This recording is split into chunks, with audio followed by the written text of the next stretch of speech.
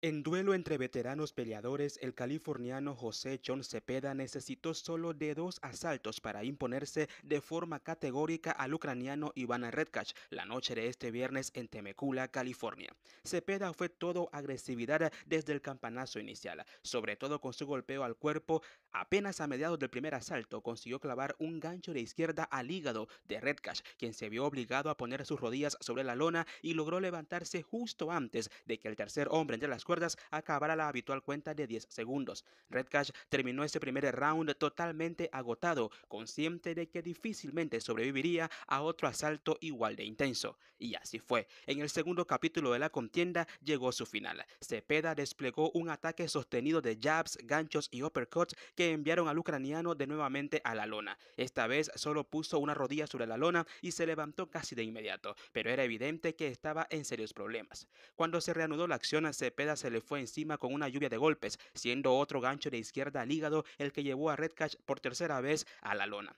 El referee Rudy Barragán no tuvo más opción que detener la pelea a los dos minutos con dos segundos del segundo round.